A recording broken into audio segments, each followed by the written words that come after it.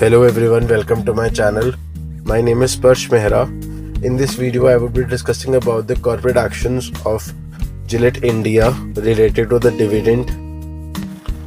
The board of directors of Gillette India at its meeting that was held has recommended an interim dividend for the financial year 2020 to 2021 of rupees 33 per equity share with a face value of rupees 10 each.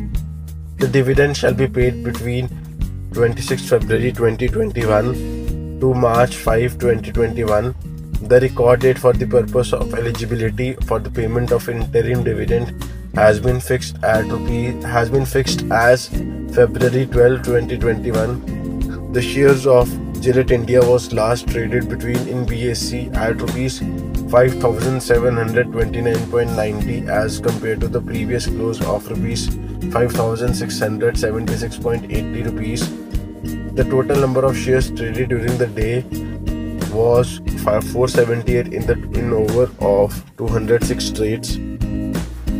Thank you so much everyone for watching this video. If you like the video, please click on the like button and also please subscribe to my channel. Also, if you haven't opened the Demat account, I'll be posting the link of Zerodha and 5paisa in the description box. You may click on the link and get your account open. Also, I would be posting the link of my Telegram channel where I give equity calls just for education purpose. You may click on the link and join me.